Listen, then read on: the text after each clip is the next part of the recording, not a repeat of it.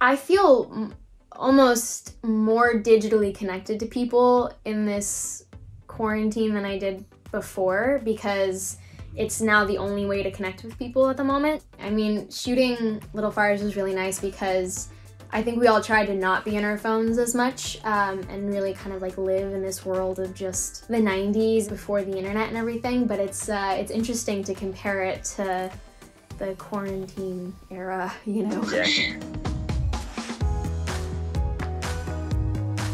So this show's kind of released at the perfect moment. And it's interesting. I mean, the show is about how a family communicates with each other and interacts with each other. So it's kind of interesting how that kind of parallels families having to spend time with each other. No, I think it's funny because I think the show is sort of a guide on what not to do. It's like, if you do all of these things, your family relationship will, will probably not be the best. What was it like for you as an actor figuring out how to portray something that was in a time period from when you weren't born. How did you bring that to life? It's always for me, it's always just tons and tons of research. Like, because I know nothing about the 90s. I knew nothing about the 90s. Being born in 2003, I, I missed everything there. But it was, it was like, there's a show on Netflix I watched that was all about the 90s, uh, a bunch of music, articles, kind of whatever I could find. And it's so much fun because I've never actually done a period show before this. Oh, really? So cool to try and figure out, like, how, how everything works a little bit differently. I also wasn't born in the 90s. Uh, so I wanted to go back and do a lot of research and um, see what it would be like to live in that time period through her eyes. So, you know, I watched things like Clueless, you know what I mean, because that would be something that my character would love to watch, or creating playlists for her that were filled with Spice Girls and Backstreet Boys and things like that, that I knew that would sort of bring her to life, you know what I mean? So funny, I was watching this interview with Liz, our showrunner. I think her first writing job was actually on Dawson's Creek with Josh, which I think is amazing. so crazy. It's so full circle, you know? I actually didn't watch Dawson's Creek. I should have because of Joshua Jackson, our dad. But I did watch Cruel Intentions, which which had both Reese and Josh, and that was such a trip. I haven't seen either. I'm sort of failing as a, as a son. Um, no, Nope.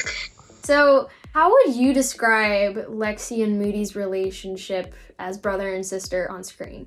We don't reach out to each other at all. There is nothing here. Um, and then I think as the series sort of goes on, there's some realizations um, that we may be a little more similar than we thought.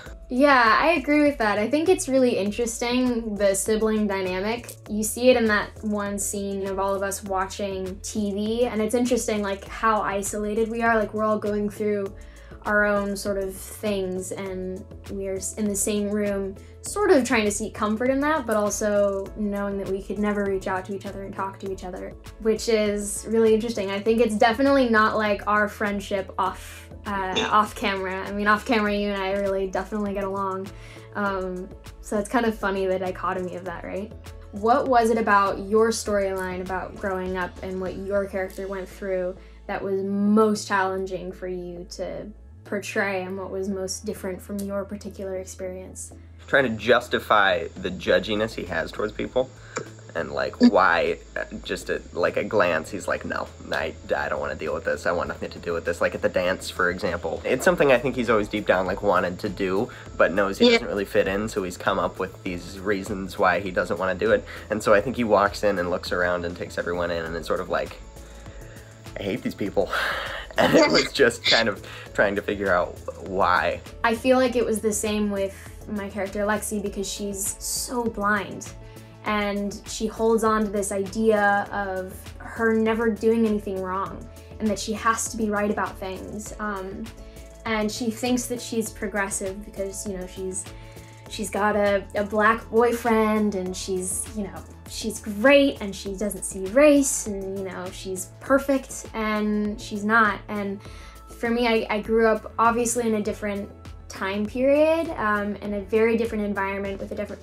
very different mentality. And so as the show progresses, you know, like in episode five, the whole ab- abortion storyline with, you know, how she writes down Pearl's name instead of her own, like it, it's so horrible. And, um, and so for me, the most challenging part was finding the humanity in that and finding the reason why she acts the way she does as opposed to playing someone who's just being wrong or bad or morally gray for the sake of it. You know, you have to figure out what had to have happened for her to become the way she became. Because I think that in real life, I don't think people think that they're the villain in their own story. I think people feel like they are their own underdog or their own hero. And yeah, if you want to make something real, I mean, you have to look at the world the way your character looks at the world, not how other people look at your character, you know? What do you hope that young viewers specifically get or take from the show? Um, I think the biggest thing is it's gonna sound sort of cliche, but uh, not judging a book by its cover.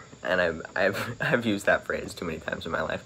But that one, I think, is the easiest to apply and would make a big difference in life. Just giving more people more opportunities and less judgment in the world in general. That's so true. I think that's really what the show is about. I mean, you never really know what people are truly going through. And I think this show really highlights how many layers there are to a person and how many things we hide from each other and from ourselves. I hope that young people look at it and they're a little bit more able to see themselves in a clearer light, or willing to see themselves in a clearer light, um, as well as others. The show just kind of holds a mirror up to you. And I think that's really interesting. And I think there's a lot of power in seeing a situation, uh, you know, a town like Shaker Heights or a person as they really are and not what they project to be, and then being willing to change from that and knowing that we're all flawed and human and messy and, um, like you said, to not judge a book by its cover. I mean, there's so much more to a person, you know? I love it.